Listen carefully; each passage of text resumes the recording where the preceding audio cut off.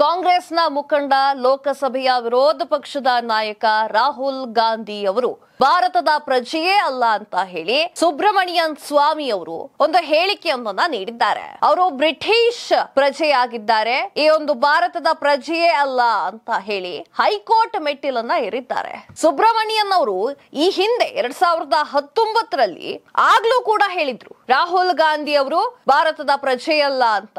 ಆದ್ರೆ ಈಗ ಸಾಕ್ಷ್ಯಾಧಾರಗಳನ್ನ ಒಟ್ಟುಗೂಡಿಸಿ ಹೈಕೋರ್ಟ್ನ ಮೆಟ್ಟಿಲೇರಿದ್ದಾರೆ.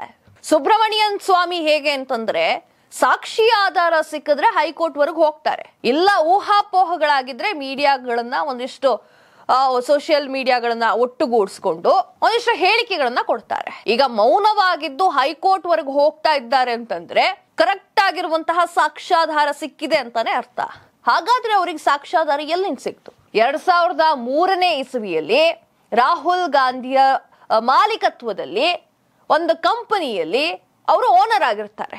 ಅಲ್ಲಿ ಡಾಕ್ಯುಮೆಂಟ್ಸ್ ಕೊಡಬೇಕಾದ್ರೆ ಬ್ರಿಟಿಷ್ ಪ್ರಜೆ ಅಂತ ಕೊಟ್ಟಿರ್ತಾರೆ. ಅಲ್ಲಿಂದ ಎಳ್ಕೊಂಡಿದ್ದಾರೆ ಈ ಒಂದು ಸಾಕ್ಷಿಗಳನ್ನ ಅಂತಾನೆ ಹೇಳ್ಬಹುದು. ಹಾಗಾದ್ರೆ ಸುಬ್ರಹ್ಮಣ್ಯನ್ ಅವರ ಸ್ವಾಮಿ ಅವರ ಮುಂದಿನ ನಡೆ ಏನು ಅನ್ನೋದ್ರ ಬಗ್ಗೆ ಡೀಟೇಲ್ಸ್ ಕೊಡ್ತೀವಿ ನೋಡಿ. ಕಾಂಗ್ರೆಸ್ನ ಮುಖಂಡ ಹಾಗೂ ಲೋಕಸಭೆಯ ವಿರೋಧ ಪಕ್ಷದ ನಾಯಕ ರಾಹುಲ್ ಗಾಂಧಿ ಅವರು ಭಾರತೀಯ ಪೌರತ್ವವನ್ನ ರದ್ದುಗೊಳಿಸಲು ಕೋರಿರುವಂತಹ ತಮ್ಮ ಮನವಿಯನ್ನ ನಿರ್ಧರಿಸಲು ಗೃಹ ಸಚಿವಾಲಯಕ್ಕೆ ನಿರ್ದೇಶನಗಳನ್ನ ನೀಡಬೇಕೆಂದು ಕೋರಿ ಭಾರತೀಯ ಜನತಾ ಪಕ್ಷದ ನಾಯಕ ಸುಬ್ರಹ್ಮಣ್ಯನ್ ಸ್ವಾಮಿ ಅವರು ದೆಹಲಿಯ ಹೈಕೋರ್ಟ್ ಮೊರೆಯನ್ನ ಹೋಗಿದ್ದಾರೆ. ಮುಂದಿನ ವಾರ ಹೈಕೋರ್ಟ್ನಲ್ಲಿ ಅರ್ಜಿ ವಿಚಾರಣೆ ನಡೆಸುವಂತಹ ಸಾಧ್ಯತೆ ಇದೆ. ವಕೀಲ ಸತ್ಯ ಸರ್ಬರಾಲ್ ಅವರ ಮೂಲಕ ಸುಬ್ರಹ್ಮಣಿಯನ್ ಅವರು ಅರ್ಜಿಯನ್ನ ಸಲ್ಲಿಕೆ ಮಾಡಿದ್ದಾರೆ. ರಾಹುಲ್ ಗಾಂಧಿ ಅವರು ಬ್ರಿಟನ್ನಲ್ಲಿ ಎರಡ್ ಸಾವಿರದ ಮೂರರಲ್ಲಿ ನೋಂದಾಯಿಸಿರುವಂತಹ ಬ್ಯಾಕ್ ಅಪ್ ಲಿಮಿಟೆಡ್ ಹೆಸರಿನ ಕಂಪನಿಯ ನಿರ್ದೇಶಕರು ಮತ್ತು ಕಾರ್ಯದರ್ಶಿಗಳಲ್ಲಿ ಒಬ್ಬರಾಗಿರ್ತಾರೆ ಅಂತ ಹೇಳಿ ಸ್ವಾಮಿ ಎರಡ್ ಸಾವಿರದ ಹತ್ತೊಂಬತ್ತರಲ್ಲಿ ಗೃಹ ಇಲಾಖೆಗೆ ಪತ್ರವನ್ನ ಬರೆದಿದ್ರು. ಅಕ್ಟೋಬರ್ ಹತ್ತು, ಎರಡ್ ಸಾವಿರದ ಐದು ಮತ್ತು ಅಕ್ಟೋಬರ್ ಮೂವತ್ತೊಂದು, ಎರಡ್ ಸಾವಿರದ ಆರರಲ್ಲಿ ಸಲ್ಲಿಸಿದ ಕಂಪನಿಯ ವಾರ್ಷಿಕ ರಿಟರ್ನ್ನಲ್ಲಿ ಗಾಂಧಿ ಅವರು ತಮ್ಮ ರಾಷ್ಟ್ರೀಯತೆಯನ್ನ ಬ್ರಿಟಿಷ್ ಅಂತ ಘೋಷಣೆ ಮಾಡಿದ್ರು ಅಂತ ಸುಬ್ರಮಣಿಯನ್ ಸ್ವಾಮಿ ಅವರು ಹೇಳಿದ್ದಾರೆ.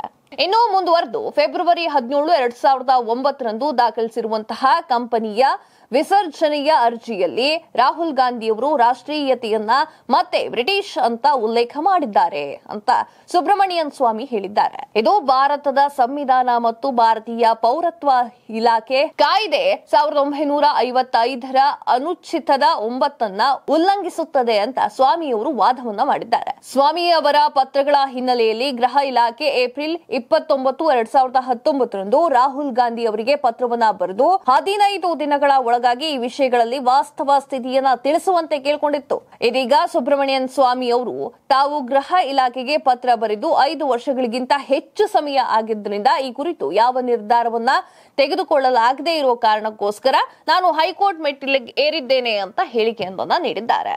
ರಾಹುಲ್ ಗಾಂಧಿ ಬ್ರಿಟಿಷ್ ಪ್ರಜೆ ಅಂತ ಸುಬ್ರಮಣಿಯನ್ ಸ್ವಾಮಿ ಕಳೆದ ವಾರ ಆರೋಪವನ್ನ ಮಾಡಿದ್ರು. ರಾಹುಲ್ ಗಾಂಧಿ ಅವರು ಬ್ರಿಟನ್ ಸರ್ಕಾರಕ್ಕೆ ಸಲ್ಲಿಸಿದ್ದೇನೆ ಅಂತ ಹೇಳಲಾಗಿರುವಂತಹ ತೆರಿಗೆಯ ರಿಟರ್ನ್ಸ್ ಪ್ರತಿಯನ್ನ ಎಕ್ಸ್ನಲ್ಲಿ ಹಂಚಿಕೊಂಡಿದ್ದಂತಹ ಸ್ವಾಮಿ ರಾಹುಲ್ ಗಾಂಧಿ ವಿರುದ್ಧ ಕ್ರಮ ಕೈಗೊಳ್ಳದಂತೆ ಪ್ರಧಾನಿ ನರೇಂದ್ರ ಮೋದಿ ಅವರನ್ನ ಸೋನಿಯಾ ಗಾಂಧಿ ಅವರು ಬ್ಲಾಕ್ ಮೇಲ್ ಮಾಡ್ತಿದ್ದಾರೆ ಅಂತ ಪ್ರಶ್ನೆ ಮಾಡಿದ್ದಾರೆ.